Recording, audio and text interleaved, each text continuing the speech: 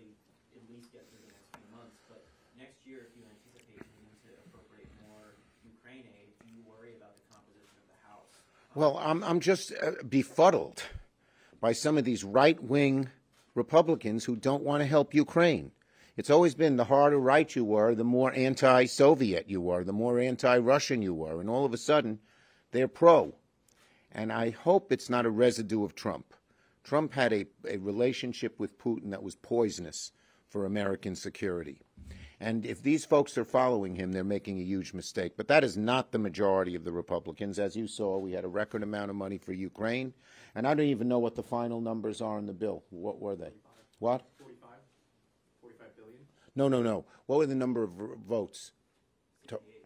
To- 68. So you got a large number of, uh, so it must be 18. No, it's 18 Republicans voting for the bill. Maybe a few more who weren't here who might have voted for it as well.